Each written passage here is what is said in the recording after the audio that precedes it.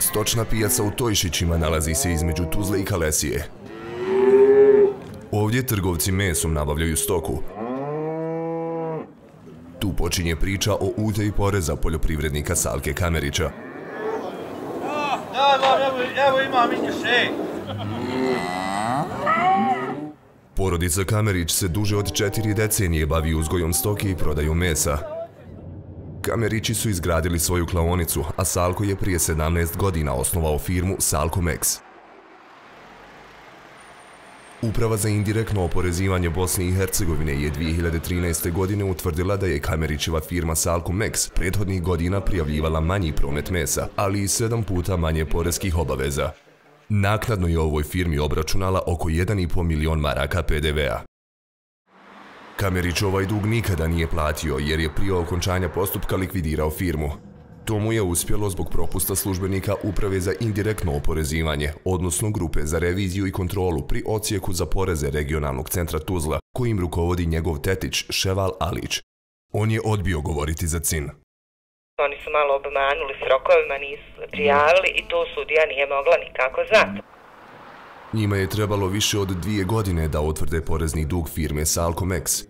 Kameriću je to odugovlačenje išlo na ruku, jer do donošenja konačnog rješenja njegov dug nije bio vidljiv u centralnom registru. Kada se to i desilo, Kamerić je već uspio likvidirati svoju firmu, ali dug nikada nije platio. A naš zakon kaže da član 9 zakona o postupku prinudne naplate indirektnih poreza, pre, da kaže trajno se obustavlja postupak prinudne naplate, kad on bude ugašen, poništen, zastario. Znači, p, O, n, e i, šten, poništen. Nema. Čist ko suza. Novinari su mjesecima pokušavali razgovarati sa Kamerićem, ali on nije pristao. Kako ste, Salko Ermin je ovdje iz Centra za istraživačko novinarstvo, šta ima?